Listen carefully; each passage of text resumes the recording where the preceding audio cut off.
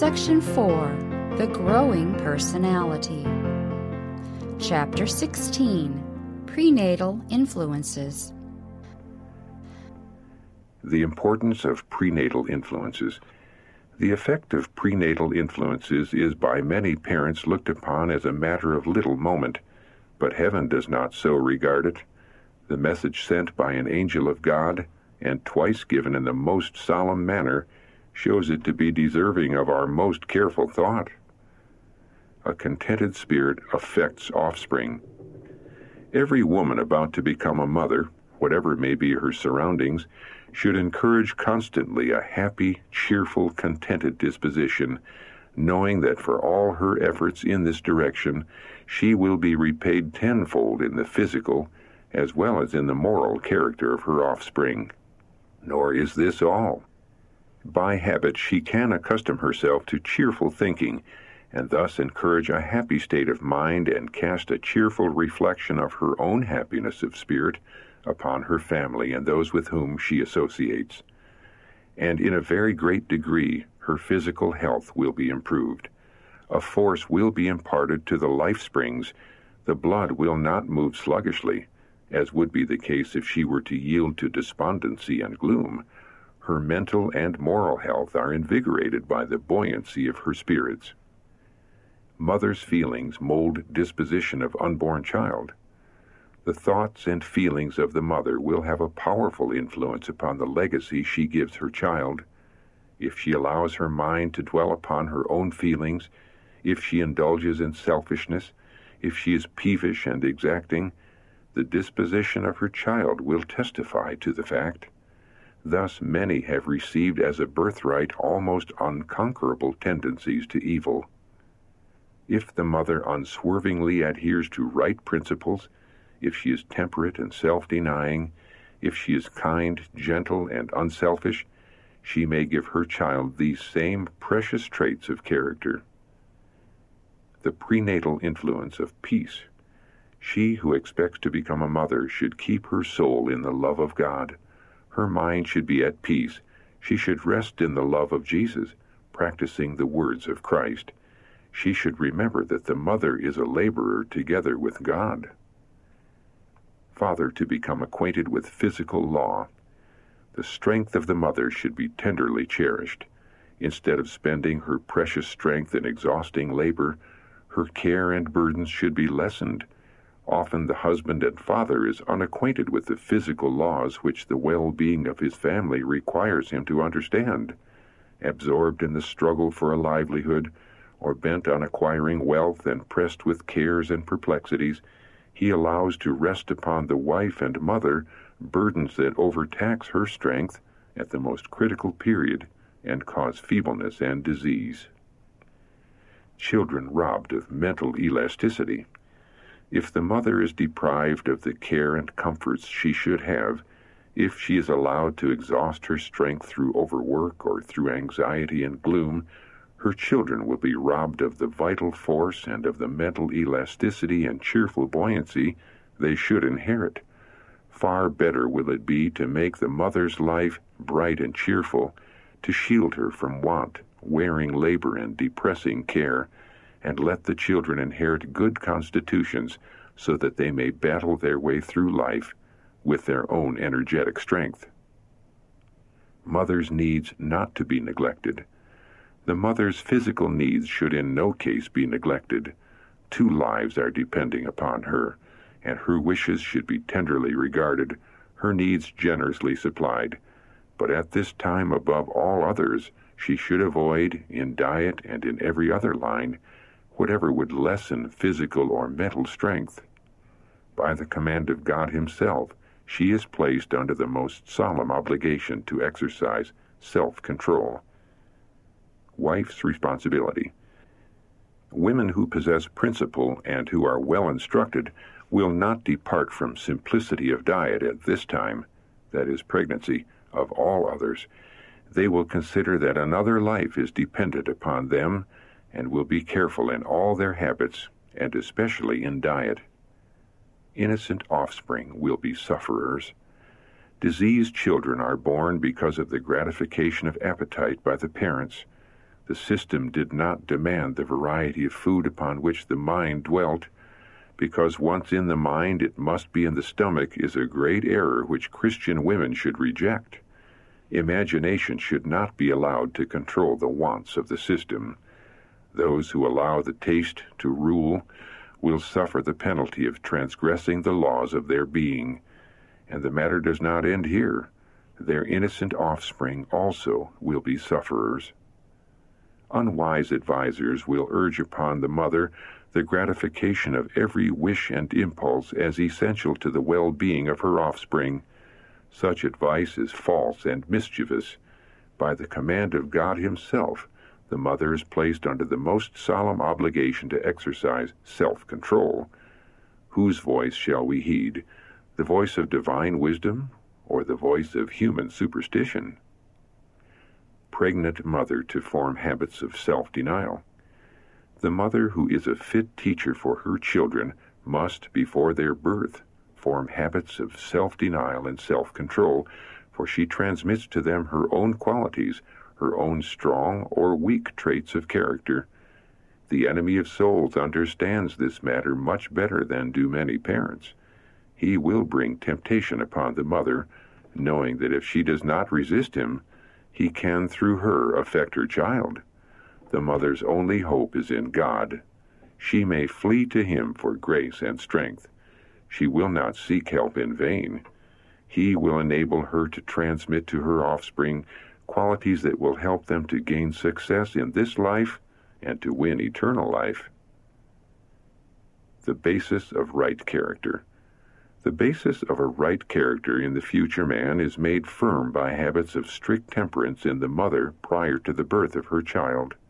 This lesson should not be regarded with indifference race groaning under weight of accumulated woe.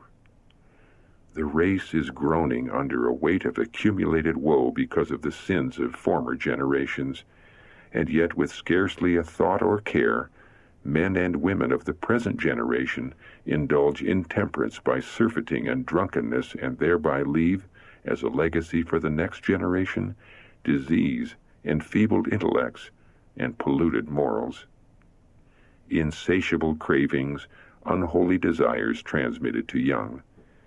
Both parents transmit their own characteristics, mental and physical, their dispositions and appetites, to their children.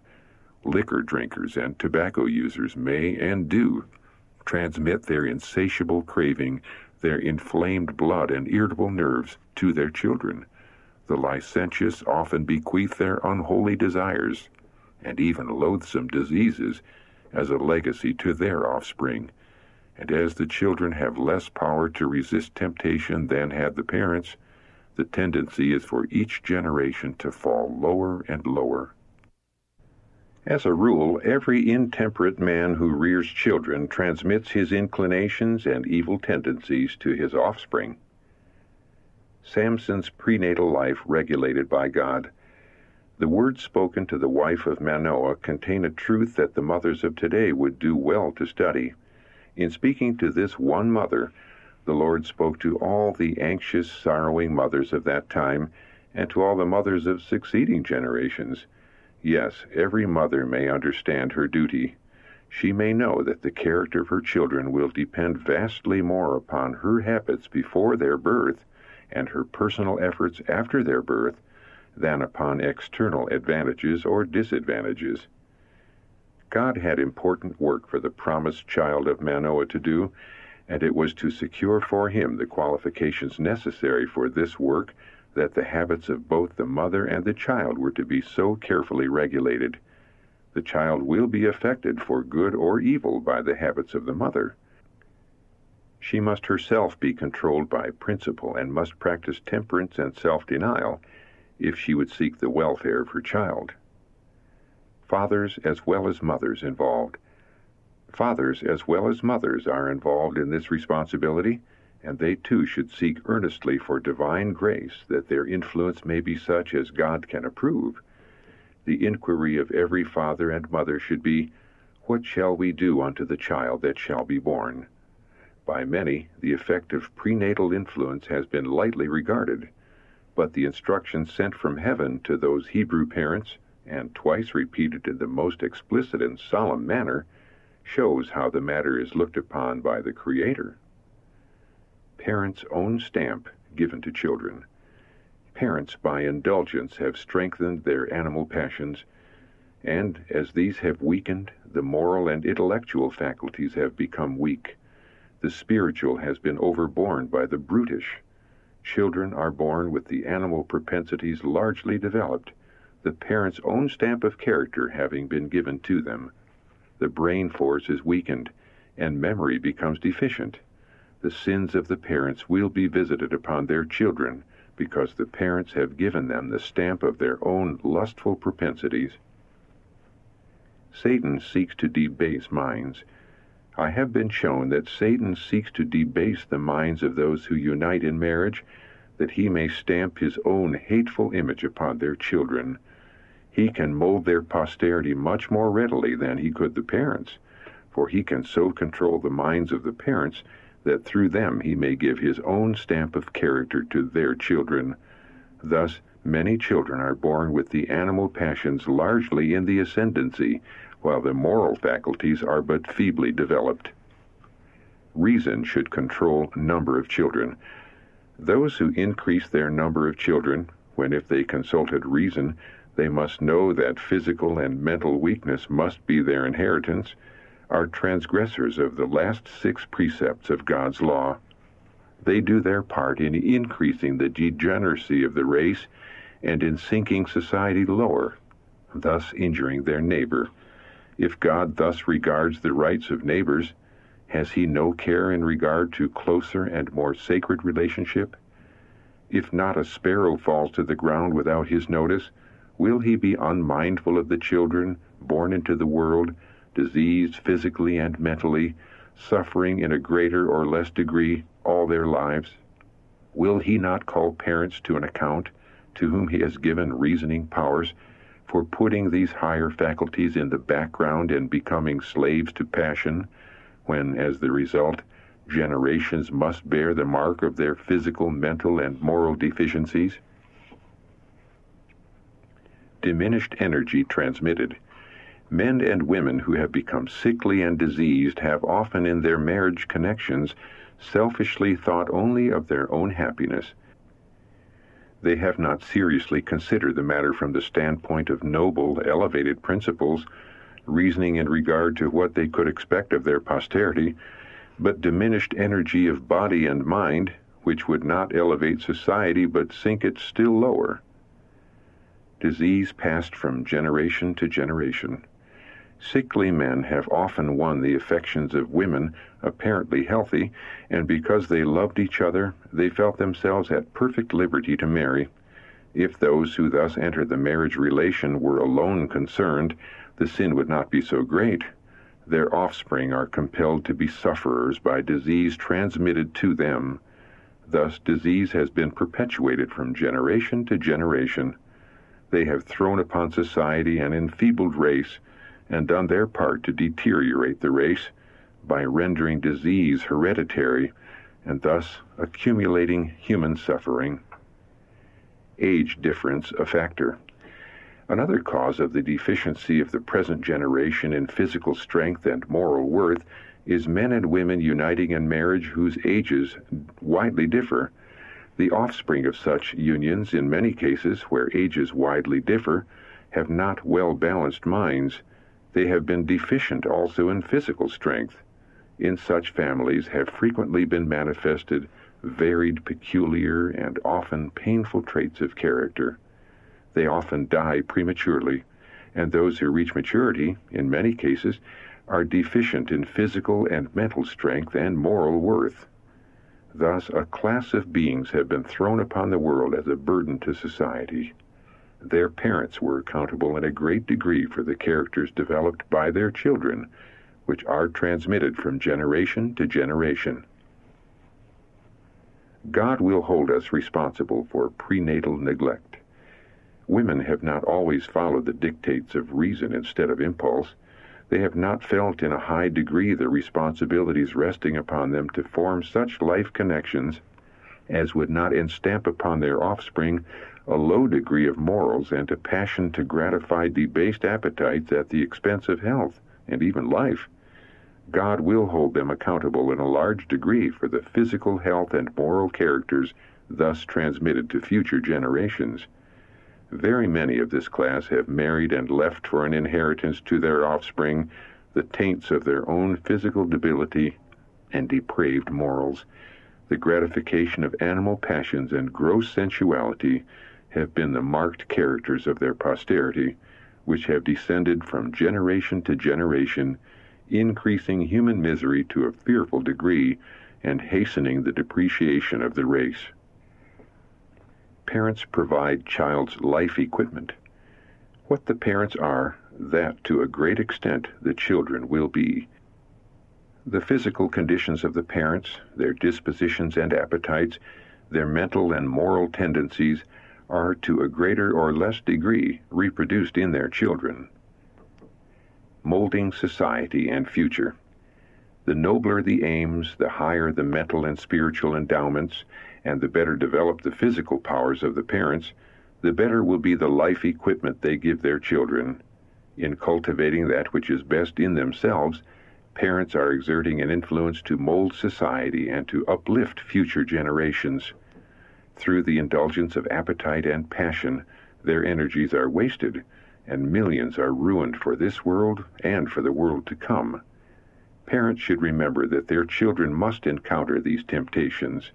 Even before the birth of the child, the preparation should begin that will enable it to fight successfully the battle against evil.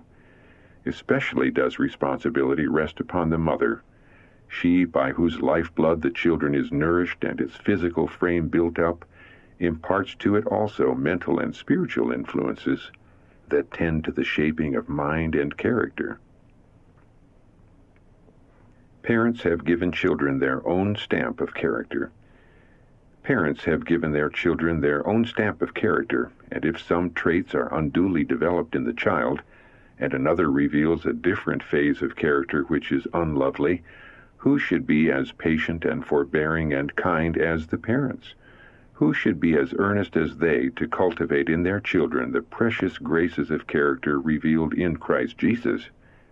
Mothers do not half appreciate their privileges and possibilities they do not seem to understand that they can be in the highest sense missionaries, laborers together with God in aiding their children to build up a symmetrical character. This is the great burden of the work given them of God. The mother is God's agent to Christianize her family. The responsibility of parents for prenatal influence. The first great object to be attained in the training of children is soundness of constitution, which will prepare the way in a great measure for mental and moral training. Physical and moral health are closely united. What an enormous weight of responsibility rests upon parents when we consider that the course pursued by them before the birth of their children has very much to do with the development of their character after their birth. What to do about it? Parents may have transmitted to their children tendencies which will make more difficult the work of educating and training these children to be strictly temperate and to have pure and virtuous habits. If the appetite for unhealthy food and for stimulants and narcotics has been transmitted to them as a legacy from their parents, what a fearfully solemn responsibility rests upon the parents to counteract the evil tendencies which they have given to their children. How earnestly and diligently should the parents work to do their duty in faith and hope to their unfortunate offspring. A day of reckoning for parents. When parents and children meet at the final reckoning, what a scene will be presented. Thousands of children who have been slaves to appetite and debasing vice, whose lives are moral wrecks, will stand face to face with the parents who made them what they are. Who but the parents must bear this fearful responsibility? Did the Lord make these youth corrupt? Oh, no. Who then has done this fearful work? Were not the sins of the parents transmitted to the children in perverted appetites and passions? And was not the work completed by those who neglected to train them according to the pattern which God has given? Just as surely as they exist, all these parents will pass in review before God. More than human wisdom needed, parents should remember that their children must encounter temptations. Even before the birth of the child, a preparation should begin that will enable it to fight successfully the battle against evil. Happy are those whose lives reflect the divine.